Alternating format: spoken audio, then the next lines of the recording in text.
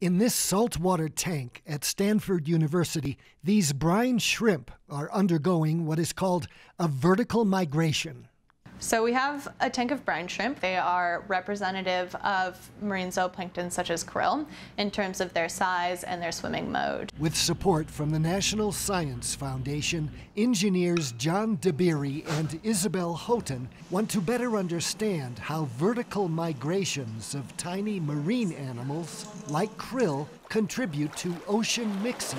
We're very interested in how the ocean works because that's going to determine our future here on Earth. The ocean is the primary sink of our carbon emissions. It provides fish for a lot of coastal communities, really for the entire world.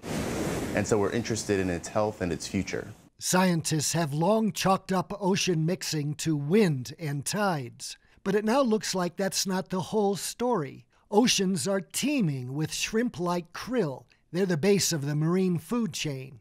Every night they migrate in giant swarms to the surface to feed.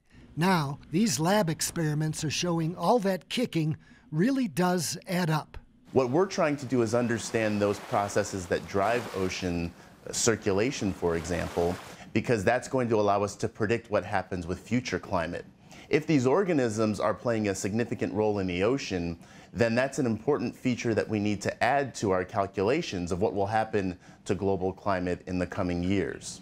Mixing it up in the lab, discovering how these tiny sea creatures have a giant effect on our oceans. From This American Land, Gary Strieker for NBC News.